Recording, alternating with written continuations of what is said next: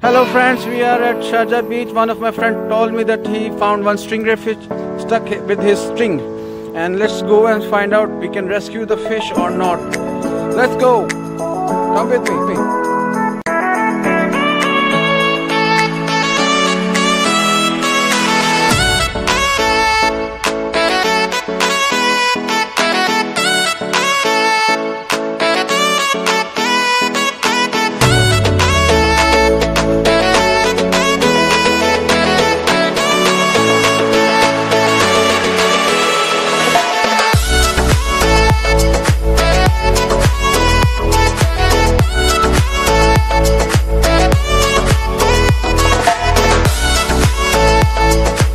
Okay now fish is ready, healthy and ready to swim back.